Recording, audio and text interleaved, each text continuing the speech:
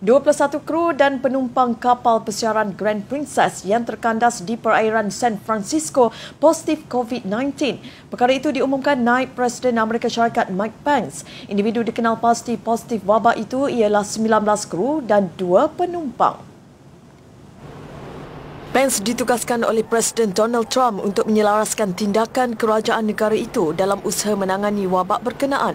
Beliau berkata kapal terbabit akan dibawa ke sebuah limbungan bukan komersial hujung minggu ini. Manakala kesemua 3,533 penumpang dan krunya bakal menjalani saringan kesihatan.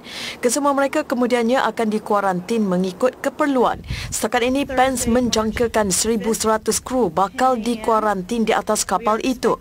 Beliau juga percaya bilangan mangsa dijangkiti COVID-19 adalah tinggi dalam kalangan kru kapal berikutan mereka terdedah ketika dua pelayaran sebelum ini. Grand Princess terkandas di perairan San Francisco sejak Rabu lalu selepas dua suspek dalam pelayaran sebelum ini dijangkiti virus berkenaan. Seorang daripada mangsa terbabit kemudian meninggal dunia. Sehingga kini di Amerika Syarikat, 12 mangsa meninggal dunia ekoran wabak berkenaan sementara lebih 200 orang telah dijangkiti.